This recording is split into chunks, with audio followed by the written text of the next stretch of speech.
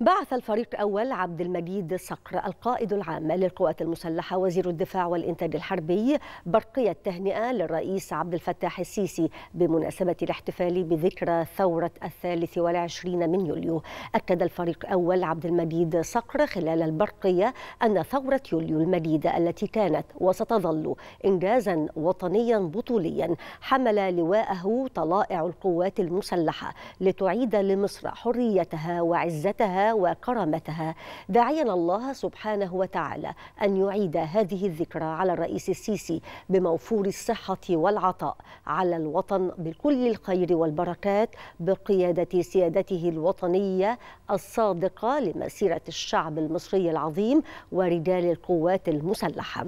كما بعث الفريق أحمد خليفة رئيس أركان حرب القوات المسلحة. بعث برقية تهنئة مماثلة للرئيس السيسي هذا وقد أصدر الفريق أول عبد المجيد صقر القائد العام للقوات المسلحة وزير الدفاع والإنتاج الحربي والفريق أحمد خليفة رئيس أركان حرب القوات المسلحة. توجيها لتهنئة القادة والضباط وضباط الصف والصناع العسكريين والجنود والعاملين المدنيين بالقوات المسلحة وأفراد القوات المسلحة المشاركين بقوات حفظ السلام بهذه المناسبة.